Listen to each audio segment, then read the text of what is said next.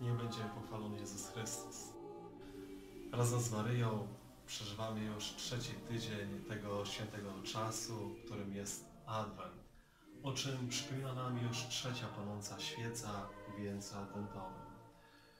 Chciałbym Was wszystkich, moi drodzy, zaprosić na wspólną drogę adwentowej refleksji razem z błogosławionym księdzem Jerzym Popiełuszko i świętym księdzem José Marią Escrivo de Balaguerem, założycielem Opus Dei, czyli dzieła Bożego.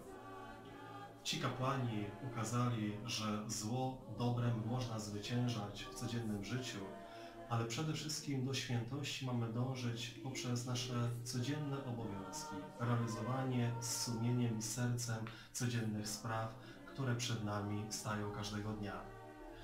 Niech błogosławiony ksiądz Jerzy Popiełuszko i święty José Maria Escriva de Balaguer prowadzą nas na drodze adwentowej refleksji.